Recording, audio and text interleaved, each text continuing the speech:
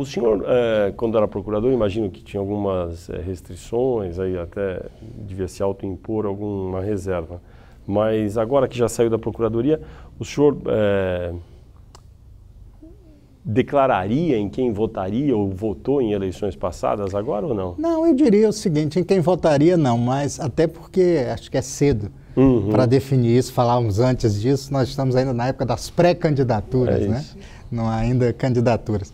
Mas posso dizer, por exemplo, que é, desde a minha juventude eu fui brisolista.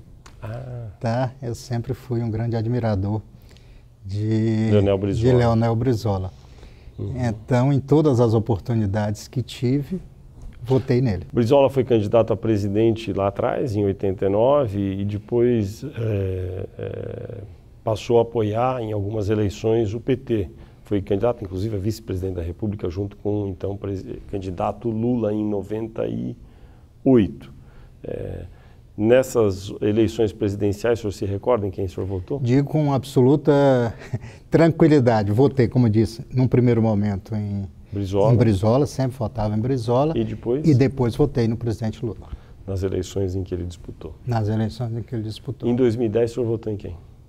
2010. Que a presidente Dilma foi eleita que a presidente Dilma foi eleita, eu votei na presidente Dilma.